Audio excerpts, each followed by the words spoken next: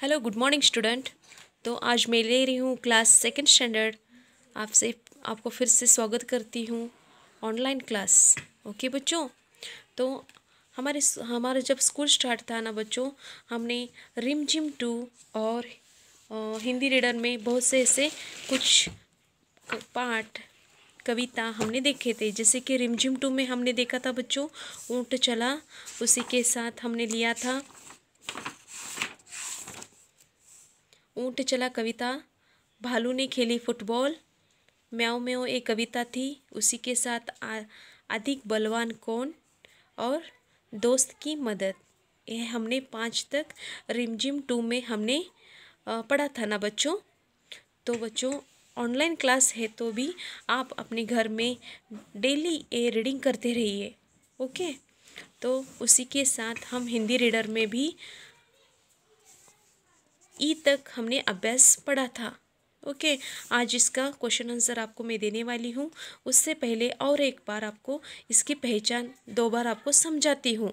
Okay तो बच्चों, जैसे कि स्वर में हमने पढ़ा था कि अ, आई, ओके, जैसे कि यहाँ देखो, अ, आ ई ई ओके? तो बच्चों, टोटल हमारे आहार तक हमने स्वर पढ़ा है। उसी के साथ हर एक स्वर का हम अभ्यास हम पढ़ रहे हैं। जैसे कि क क में अ का आवाज़ आता है, यानी क, उसका उच्चार अ में ख़त्म होता है। उसकी पहचान क, ख ख प्लस अ, यानी ख, ये का अभ्यास हमने पढ़ा था। आ का अभ्यास में हमने क्या पढ़ा था? आ का पे, आ की पहचान क्या थी बच्चों, बोलो? आ की पहचान, उसके साथ जो ये खड़ा लकीर, यानी काना है ना, वो खड़ा लकीर, यानी आ की पहचान है। आ की पहचान आप जब व्यंजन में आता है ना, जैसे कि का, समझ गए? आप आ कैसे पहचानोगे इसमें? यानी एक काना आपको दिखेगा, यानी खड़ा लकीर आपको दिखेगा ना तब इसमें आ का आवाज़ आता है। कौन सा में व्यंजन आया जाए यहाँ? का, खा, गा। कौन सा भी? या।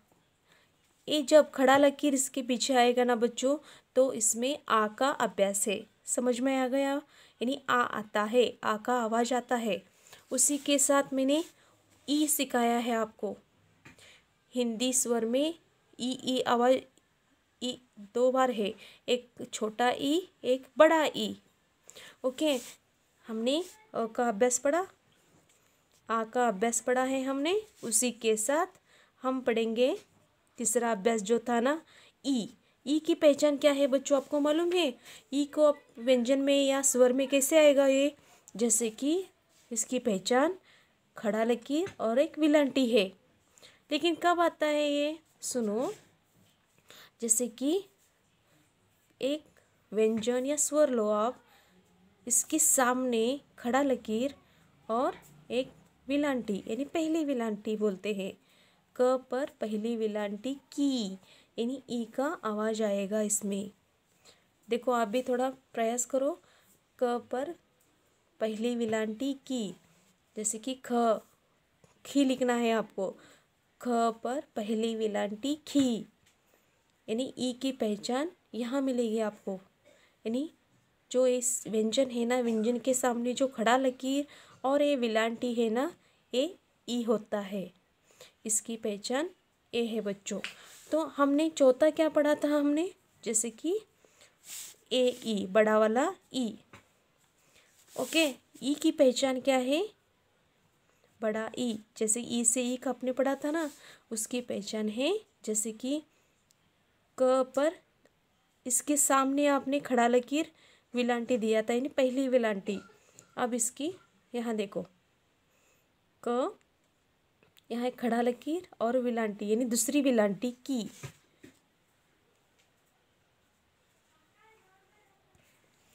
नेक्स्ट बच्चों, ख पर दूसरी विलांटी खी यानी खड़ा लकीर और ऐसे गोल करना है खी यानी ए, ई की पहचान इसकी दूसरी विलांटी है। ग पर दूसरी विलांटी गी। ऐसे बहुत से ऐसे यहाँ वर्ण आ सकते हैं, व्यंजन आ सकते हैं। यानी इसकी दूसरी वेलांटी जो है ना, ए, ई की पहचान है, बड़ा वाला ई। ओके बच्चों तो आपको मैंने शॉर्टकट ली, आपको अभ्यास आपको समझाया है, जैसे अ का अभ्यास, आ का अभ्यास ई का अभ्यास और ए ई का अभ्यास, ओके? हर एक की पहचान आपको मैंने समझाया है, जैसे कि इसका काना है, यानी आ की पहचान है। यहाँ पहली विलांटी और एक दूसरी विलांटी। तो बच्चों, हमने क्लास में पढ़ा था ई का अभ्यास। पूरा आपको मैंने परफेक्ट पढ़ाया है, लेकिन और एक बार रिवाइंड करूँगी यहाँ। जैसे कि ई का अभ्यास, पेज नंबर है बाईस, ई से ईख, हर एक शब्द जो है ना बच्चों, ई है देखो, ईख, शुगर केन, ई से ईसाई, यानी ईसाई यानी क्रिश्चियन होते हैं। यहाँ देखो, हर एक वर्ड्स में ई आए है, क्रिश्चियन, ई से ईट ईट यानी ब्रिक, ई से ईद ईद यानी हमारा त्यौहार है बच्चों, ओके? तो अब ई की पहचान है ना तो दूसरे शब्दों में कैसे बदल जाती है, आपको पहचानना है। कैसे पहचानना है?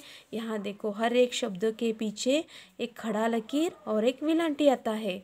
इसकी पहचान क्या समझोगे आप? यहाँ व्यंजन के पीछे यानी खड़ा लकीर और एक मिलांटी आता है। ये बड़ा वाला ई है। च, यहाँ देखो, च से बनता है क्या है? ची से चित्ता, ती से तीर। खी से खीर, जी से जीभ, डी से गाढ़ी, ओके? यहाँ देखो, हा से हाथी, म से मछली, यानी आपको कहाँ देखो, दूसरी वेलांटी कहाँ दिख रहा है? जैसे कि थी, यहाँ देखो दूसरी वेलांटी दिख रहा है, यानी ई है, म से मछली में ली है, मा से माली में यहाँ ली को दूसरी वेलांटी है, और प से परी में भी रीब को, दूसरी वेलांटी है। तो बच्चों, यहाँ देखो ई स्वर से बने वाक्य। आज आपको देखना है ई स्वर से बने वाक्य। यहाँ देखो, आपको सीखना है आज आपको, जैसे कि हर एक वर्ड्स में दूसरी विलांटी दिखेगा। आपको मैं यहाँ टिक करके दिखाती हूँ, जैसे कि चाची खीर मीठी बनानी है। यहाँ देखो एक बच्चा चाची को बोल रहा है, चाची, खीर मीठी बनानी है। यानी चाची में ची जो है ना बच्चों, ये दूसरी विलांटी है। समझ में आया? खीर में भी दूसरी विलांटी है। मीठी में तो पूरा ही दूसरी विलांटी से ही बना है। मी पर दूसरी विलांटी मी, ठ पर दूसरी विलांटी ठी मीठी। ब ना यानी दूसरी विलांटी है। ओके, एक तो समझ में आ गया आपको, दूसरी विलांटी यानी ई की पहचान। रानी रानी की दादी कहानी सुनाती है, यानी रानी की कहानी, रानी की दादी, यानी रानी की दादी। रानी में नी, दूसरी विलांटी है नी पर। की, क पर दूसरी विलांटी दादी, दी। कहानी भी दूसरी विलांटी है, सुनाती, ती भी दूसरी विलांटी है। रानी की दादी कहानी सुनाती है। उसी के साथ नीरज झील से मछली मछली ला, यानी ये नीरज जो है ना, बाहर जा रहा है तालाब की ओर, झील की ओर। तो क्या करना है उसे? क्या लाना है? मछली लाना है। क्या लाना है बच्चों? मछली। यहाँ देखो, नीरज में नी। नीरज, जो दूसरी विलांटी है, झील से झील झील से मछली ला मछली लाई मछली में लिए दूसरी विलांटी है। अब देखो, रीता दही लाकर रख।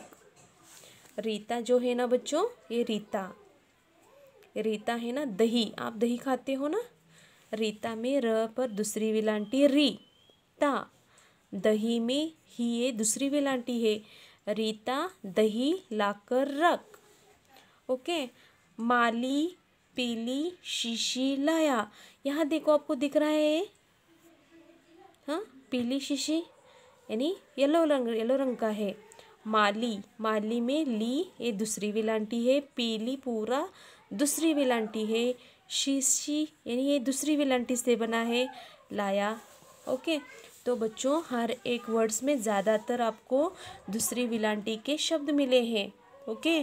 तो आप भी अपने बुक में लिखो। जैसे कि और एक बार मैं समझाती हूँ, चाची खीर मिट्टी बनानी है, रानी की दादी कहानी सुनाती है, नीरज झील से मछली ला, रीता दही लाकर रख, माली पीली शीशी लाया।